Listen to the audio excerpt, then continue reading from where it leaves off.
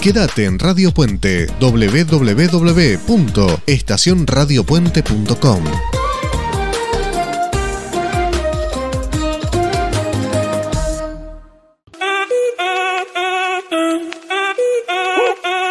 Si el ritmo te lleva a mover la cabeza, ya empezamos como es. Mi música no discrimina a nadie, así que vamos a romper. Toda mi gente se mueve.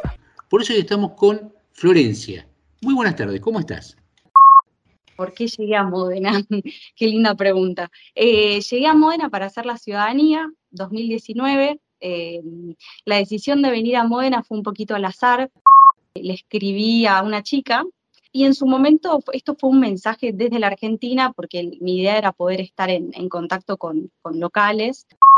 Después, finalmente, llegué, me quedé, fue un poquito, me di cuenta que no era tan fácil conseguir para poder hacer la residencia, así que me terminé quedando un mes eh, y hoy por hoy es mi cuñada.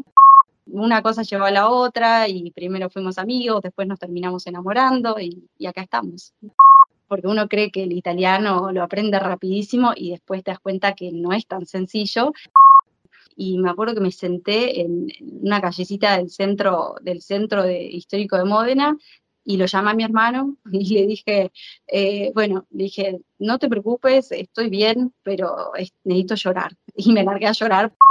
Todo sobre Italia, lo que a mí me gustaría que pueda ser un sitio eh, en, el, en el que poder eh, encontrar información que a mí me hubiese gustado encontrar en su momento. Yo soy una persona muy curiosa, tengo preguntas todo el tiempo, creo que estamos rodeados de historias y es un mundo muy interesante para, para explorar. Quién sabe, hoy por hoy es, es, nuestro, nuestro destino es Módena, mi destino es Módena, pero, pero bueno, yo mm, estoy muy enamorada de Italia. Radio Puente, acortando distancias.